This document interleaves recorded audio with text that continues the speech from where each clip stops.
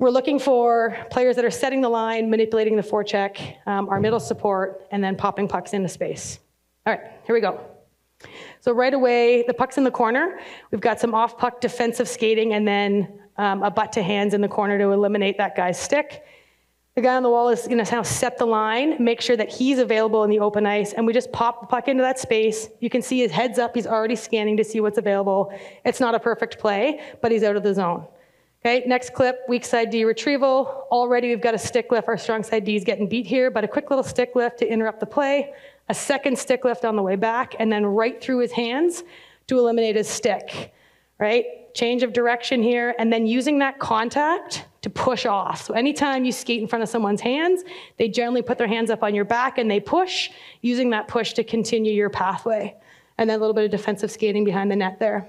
Okay, here's another one, a stick lift on the way back into the zone. This is not a skill that you see a lot of players using. Okay, skates through his hands once, creates a gap on the wall, through his hands again, and escapes to the wall, and then is going to push off of this contact. And you'll see as he comes up the ice, all this space in the middle, that's where the puck can go to be able to create that offense going up ice. Another weak side D retrieval here.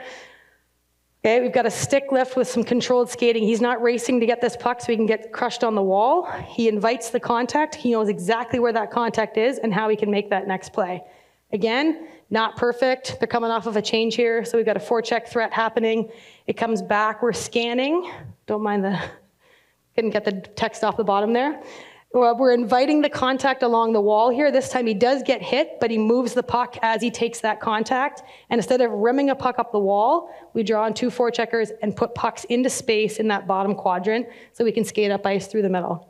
Okay, another one, scanning off of this battle. He's pushing off this contact, and you'll see the weak side or the strong side winger here, ready for this pass as, as it comes off the wall golf club grip, extending out into and popping that puck into space, and we're already scanning as we go up ice here.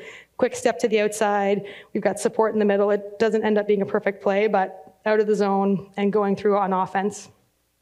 Okay, again, I told you this would be fast. We're scanning. We're turning our toes to draw our forechecker in. As soon as our toes look like we're going behind the net, usually a forechecker is going to turn their toes too. Quick little escape to the wall, and then we've got center support through the middle. All right, now we're back on, we're on to Edmonton, so we move on from the Leafs here. Okay, quick scan. We've got a stick lift or an attack underneath stick. You see the center is right in the blue paint here, all the way back, toes going downhill to see which way it's going to go and where they're needed for support. Those wingers were coming in a little bit off the wall too. Um, okay, here we go. This is Toronto PWHL. We've got a scan happening.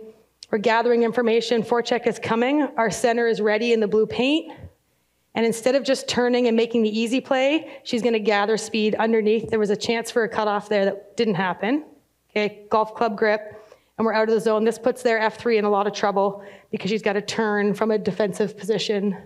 Um, we've got some more cutoffs happening here defensively. This is our center now in the battle, and you can see our weak side D is actually available to join the rush. And you're going to see a second cutoff here. She's going to the bench for a change. This is a habit right? I know Coach Ben was talking about habits in practice. That's a habit. She's tired. She's going to go to the bench, uh, but she does a cutoff to give her teammate a little bit of time to enter the zone here, uh, and we're able to break out of the zone.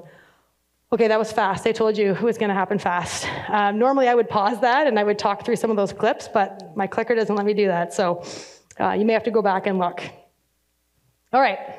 So I just threw four different concepts at you with a whole bunch of details. And a lot of times when we go to clinics like this, um, I find anyway, when I go to coaching clinics, there's a lot of really great information, but then it's never really um, taught how, how would you teach that information. So how would you get into um, teaching a, a, toe turn defensive play or popping pucks into space and the number of reps that go with it. Um, so these are four things that I would do if I was working with a minor hockey team, but also these are things that we're doing with our pro team um, on a daily basis. So Anytime you want to teach a new concept, come up with a drill and let them run it. See where they're at before you start adding too many details. So if you get up at the board and you run a really simple drill, but you add six details you want to see, they're going to be so busy thinking about the details that they're probably not going to get that comfortable with the drill.